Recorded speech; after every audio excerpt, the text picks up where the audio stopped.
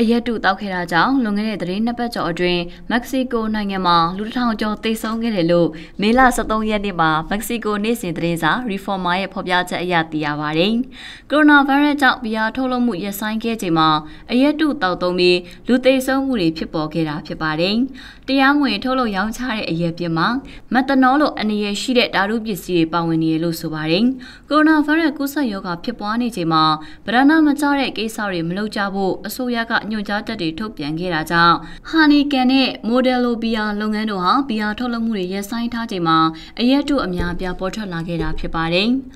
ဒေသန္တရအာဏာပိုင်တွေကတော့တရားမဝင်အရက်ထုတ်လုပ်သူတွေကိုစုံစမ်းဖော်ထုတ်နေပြီးဘယ်ကလာမှန်းမသိရတဲ့အရက်တွေကိုတောက်သုံးခြင်းမပြုဖို့ပြည်သူတွေကိုတိုက်တွန်းထားပါတယ်။အရက်သေးစာအတုတောက်သုံးမှုကြောင့်18ဦးသေဆုံးခဲ့ရတဲ့ဖြစ်စဉ်ဖြစ်ပွားအပြီးကျန်းမာရေးအရေးပေါ်အခြေအနေတရက်ကိုထုတ်ပြန်လိုက်ပြီးတဲ့နောက်မေလ23ရက်နေ့ကအလဲပိုင်းပြည်နယ်မှာသေဆုံးသူ20ထပ်တိုးလာခဲ့လို့ဆိုပါတယ်။ပြည်내အစိုးရဖွဲ့ကတော့အရက်ထဲမှာအရက်တန့်လို့ခေါ်နေကြတဲ့အရက်တုလီတာ200ကိုတင်စီခဲ့ပြီးအဲ့ဒီအရက်မှာပါဝင်တဲ့ဓာတ်ပစ္စည်းတွေကိုလစ်လာနေရလို့ဆိုပါတယ်။